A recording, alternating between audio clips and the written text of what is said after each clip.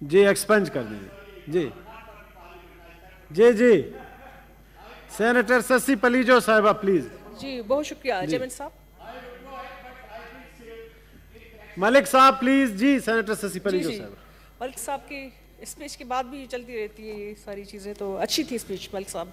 I really appreciate that जी ये पहले तो मैं अ, मेरा फ़र्ज़ भी बनता है और मेरे ख्याल में एक बड़ा ही भयानक वाक़ हुआ है बलूचिस्तान में मच में मच में। और ग्यारह सिर्फ़ वो नाम के लोग नहीं।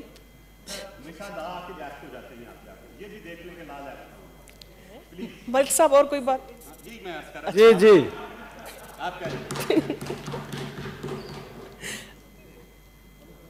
नहीं ठीक है सही है। इंटीरियर वो कमेटी के भी हैं और आज तो बड़ी उन्होंने भरपूर एक मीटिंग भी की है मलिक साहब ने।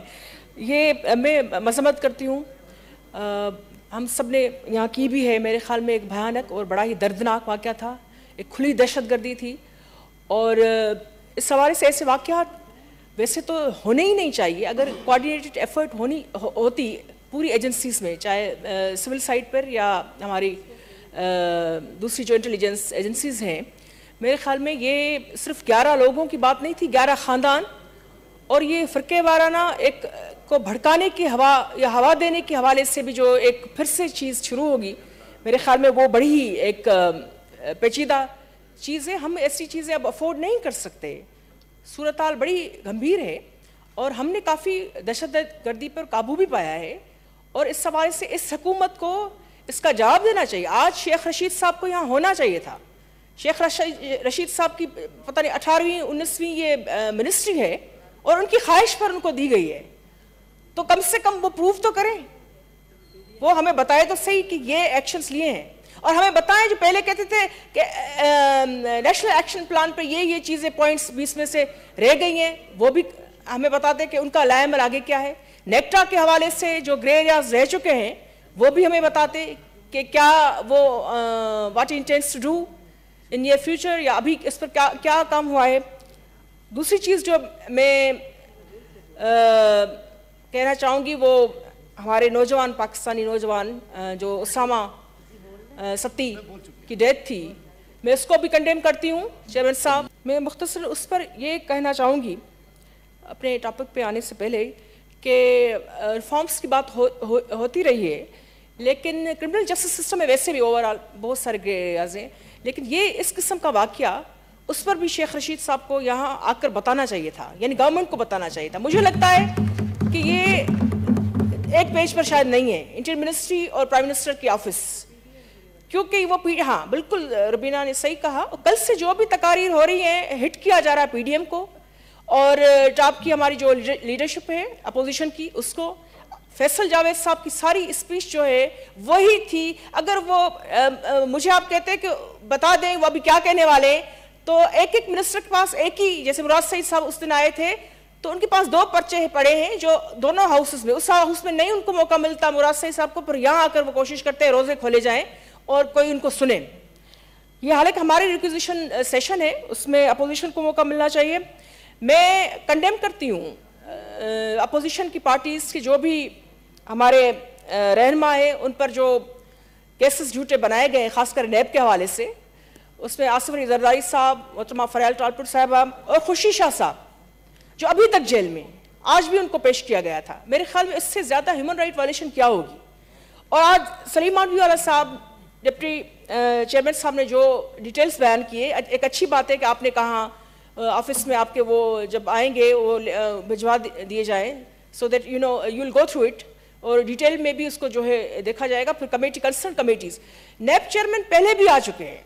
मेरा ही मोशन था ह्यूमन राइट्स के हवाले से जो आपने अ, किया था रेफर किया था मुस्तफ़ा नवाज़ साहब की कमेटी ह्यूमन राइट्स के हवाले से तो वो आ चुके हैं और काफ़ी देर वो बैठे। और उन्होंने कहा कि सेनेटर शशि पली जो जब तक आपके सवाल ख़त्म नहीं हो जाते, मैं पूरा टाइम दूँगा। और वो बैठे। और उसका ये निकला। असर उसका निकला कि हमने दूसरे महीने सिंध में काफ़ी सारे ऐसे मिसिंग पर्सन थे, वो वापस आए। और ये आसान चीज़ें होती, मुझे पता है कि बहुत सारे लोग उस पर बात नहीं करना चाहते। लेकिन ये हमारे, आपके कानून के मुताबिक अगर एक, ये तो ये तो अच्छी बात है कि पार्लियामेंट मौजूद है और उसमें सदेबाब भी हो। एहतसाब से नहीं भाग रहे। ये प्लीज़ ये बार बार जो कहा जा रहा है, अभी उनके मिनिस्टर साहब भी बात करेंगे। ठीक है they got each and every right to you know defend the government लेकिन यहाँ जो बात आ रही है, या आम लोगों की सफ़ों में से जो किराए आ रही है, वो ये कि फंडामेंटल आपके जो राइट्स हैं, जो कॉन्स्टिट्यूशन आपके राइट्स हैं, उसमें जो इतनी भयानक जो है वायलेशन हो रही हैं एहतसाब के नाम पर वो बंद होनी चाहिए। मुस्लिम लीग नून की भी लीडरशिप मियाँ नवाज़ शरीफ साहब हो, मरियम नवाज़ साहबा हो, शहबाज शरीफ जो अपोजिशन लीडर हैं, वो भी इस वक्त वो नैब के जेल में हैं, उनके बेटे भी नैब के जेल में हैं। अभी ख्वाजा आसिफ साहब, उनकी भी हम जो है, मजम्मत करते हैं। तो पीपल्स पार्टी की लीडरशिप को इतनी खौफजदा है पीटीआई की गवर्नमेंट वाले और फिर कोशिश होती है इदारों के साथ इनका क्लैश हो जाए।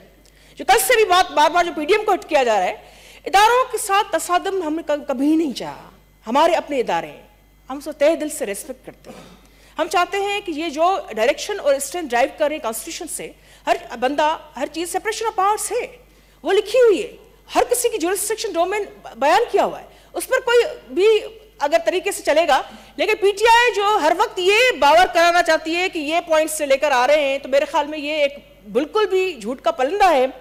और मानवी वाला साहब ने एक कंप्रहेंसिव अपनी एक मेरे ख्याल में टाइम थोड़ा था, लेकिन फिर भी उन्होंने you know tried to bring all these those issues और उस हवाले से उन्होंने एक तरह से नाम लेकर एविडेंस भी दिए। तो इदारे हम एहतराम करना चाहते हैं, लेकिन वो लोगों की ज़िंदगियों के साथ न खेलें। अच्छा काम करेंगे, हम अप्रिशिएट करेंगे, लेकिन ये जो लिस्ट बताई गई कस्टडी में जो जिनकी डेथ हुई है, मेरे ख्याल में ये एक अफसोसनाक बात है। इसका जो है वो आ, लेना चाहिए। चेयरमैन साहब ये बार बार जो ये भी कहा जा रहा है अभी काकड़ साहब ने कल स्पीच की या ये तो यहाँ से जवाब आया कि भाई मोब वतनी मोब वतनी का एक दो स्पीचेस में मुझे सुनाई दिया। ये भी बड़ी अफसोसनाक बात है कि आपकी पार्लियामेंट का जो हिस्सा है जो भी लोग ज़ाहिर बात है कॉन्स्टिट्यूशन में यकीन रखते हैं। ज़ाहिर बात वो एक दिल से पाकिस्तान की सालमियत और बका और इस्तेकाम चाहते हैं तभी तो इस हाउस का हिस्सा बनते हैं।